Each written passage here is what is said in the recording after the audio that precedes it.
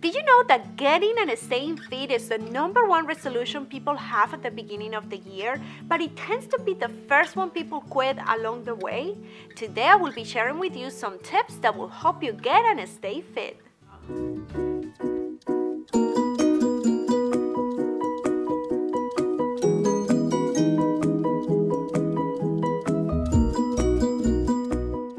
Person has a different definition for fitness. For some, it could be losing a couple of pounds, and for others, to gain a couple of pounds. And for others, it could be to eat healthier or exercise more.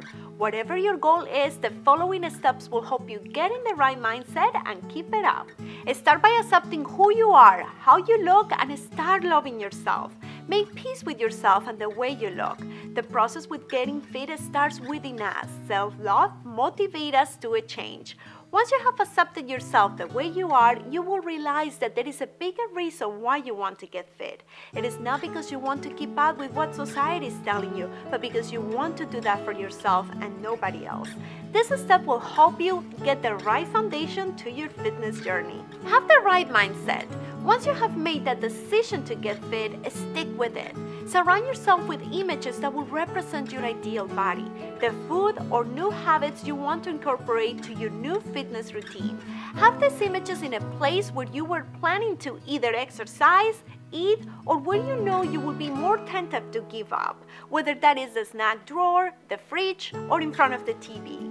These images will help you remind you of the commitment you have made to yourself and will help you maintain the right mindset. Watch the video on how to stay motivated where I share with you a few steps that will help you keep going and not give up.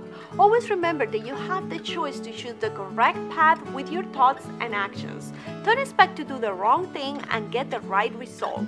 So testing yourself ahead of time to win and prepare your mindset. Set up small goals for yourself so you're not tempted to give up. Don't try to start drinking 8 glasses of water a day, eating vegetables and fruit in each meal, and try to run a marathon by the end of the month. If you're only used to drinking soda, eating burgers, and being a couch potato all the time, you will be setting yourself up for failure. Instead, write realistic goals for yourself and break them down into small, doable, and realistic steps you can take on a daily basis. Do it in small increments. What I mean by this is let's say that one of your goals is to drink more water and less soda, or that you want to start taking 10,000 steps every day to keep your heart rate going.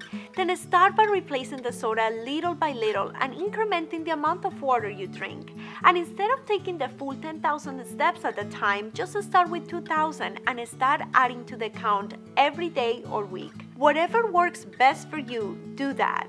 Just do it little by little. The point is that you don't get tired of the change and end up giving up. If you start trying or training your brain with these new challenges and new changes in a small doses, your brain will start accepting and adapting to the change. And if you keep it up for 21 days, it will become a new habit. Invite a family member or a friend to join you on the journey. Having someone who is taking the same challenge with you and who can hold you accountable and keep you motivated will set you up for success. I have written a quick read, which is an easy to put in practice ebook that gives you some ideas on fast exercises you can do anywhere that will help you stay fit in case you're interested to check it out. I will leave the link in the description below.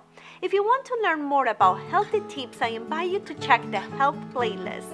I will leave the link as well in the description below. If you learned something new, please share and like this video so together we can reach more women who can benefit with this. Make sure to subscribe and sign up to my VIP list where I share some insights and additional tips, tricks and gifts that I prepared especially for you.